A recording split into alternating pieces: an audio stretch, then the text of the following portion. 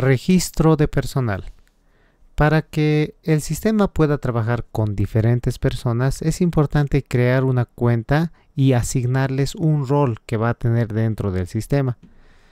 Eh, si nosotros queremos eh, ver rápidamente quiénes están trabajando en una empresa o en este sistema, podemos hacer clic en el botón nosotros, en donde se va a desplegar la lista de todas aquellas personas que están trabajando en esta empresa y cada uno de sus roles también se va a poder eh, mencionar.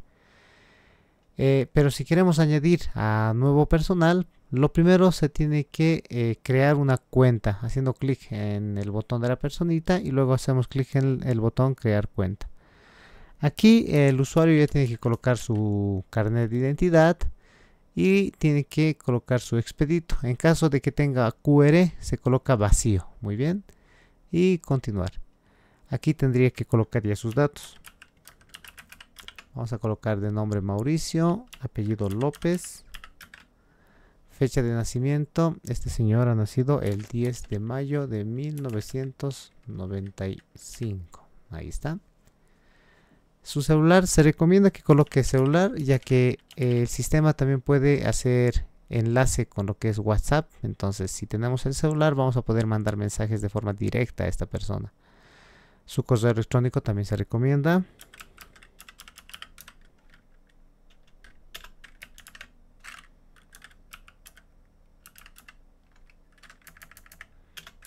Ok, muy bien. Aquí es importante colocar de forma correcta eh, el correo electrónico, si no el sistema no nos va a dejar registrar.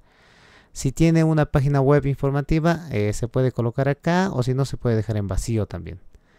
Aquí colocamos género, masculino, estado civil soltero, dirección eh, San Pedro, calle Acosta, número 45 Tanzo.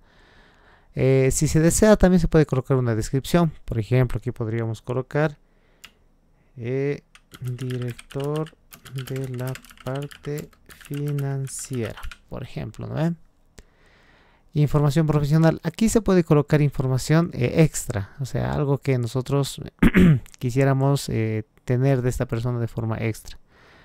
Más adelante también este, este control de aquí lo vamos a poder editar. Entonces, la persona lo puede dejar en vacío para empezar. Y en aquí eh, se le pide que se invente una contraseña el cual solamente tenga números y letras. Muy bien, no caracteres especiales como ser comas, guiones, asteriscos, eh, no eso, solamente números y letras. Es importante que recuerde esta contraseña porque para iniciar sesión va a tener que utilizar lo que es su carnet de identidad y esta contraseña que se va a inventar. Entonces yo voy a colocar una contraseña fácil 1, 2, 3. Y aquí 1, 2, 3. Perfecto. Y luego colocamos guardar. Listo. ¿Se registró de forma correcta? ¿Desea ir a la pantalla inicial? Sí. Entonces ya volvemos a lo que es la pantalla inicial. Una vez que la persona haya creado lo que es una cuenta, entonces ahora tocaría darle un rol. Muy bien, darle un cargo básicamente. Para eso tenemos que iniciar sesión, pero como un eh, gerente, gerente general o CEO. En este caso iniciamos sesión. Perfecto, ahorita estamos como CEO.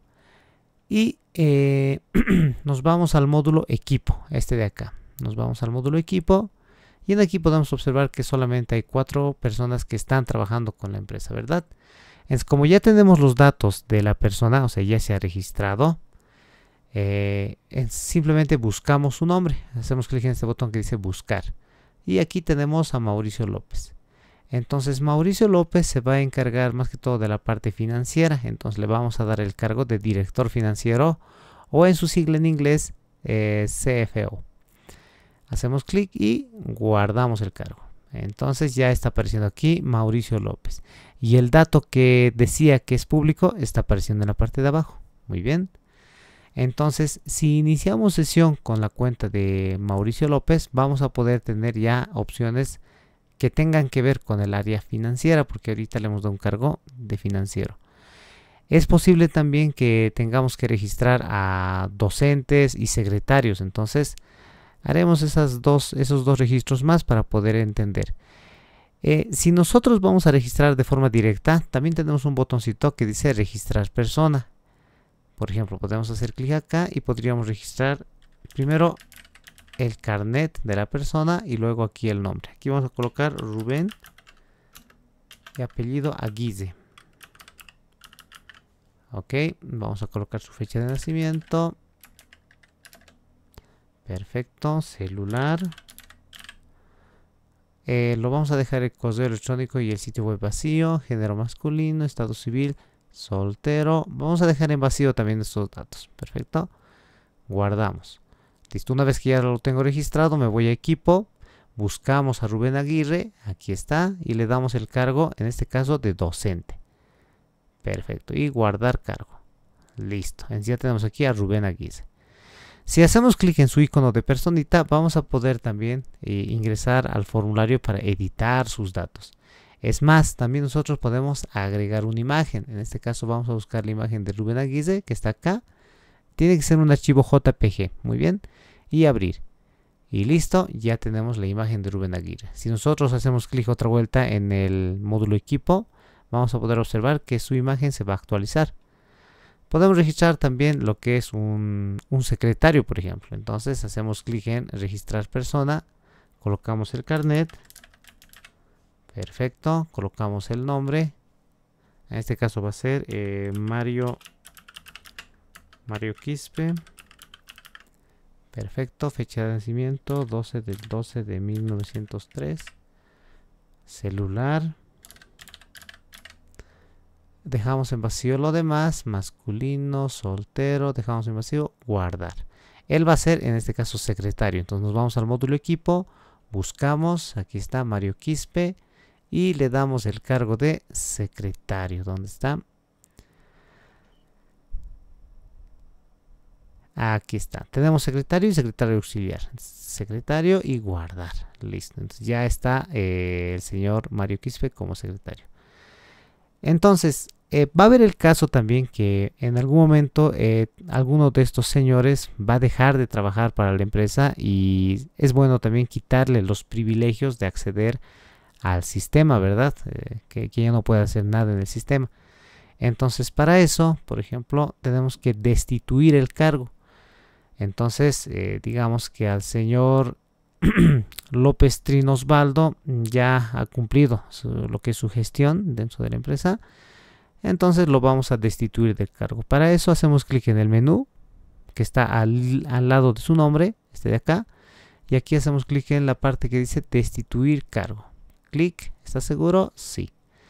Con eso, esa persona ya no estaría siendo parte de la empresa y eh, cuando él inicie sesión con lo que es su cuenta, ya no va a tener las opciones que solía tener cuando era docente.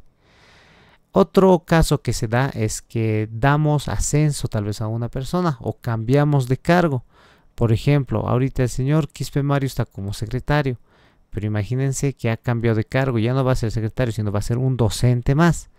Entonces para eso hacemos igual clic en el menú de la persona y en aquí colocamos cambiar cargo. Perfecto, hacemos clic en cambiar cargo y en aquí seleccionamos el nuevo cargo que va a tener, en este caso sería docente y cambiar cargo. Con eso ya el señor Mario Quispe ya es otro docente eh, dentro de, este, de esta empresa. Perfecto. Eh, bueno, de esa manera sencilla se puede hacer la gestión del personal que hay en la empresa. De todos modos, hay algunas opciones más que podemos tener aquí, como imprimir un credencial para esta persona. Por ejemplo, miren, para Rubén Aguirre, hacemos clic en imprimir credencial. Esperamos un poquito.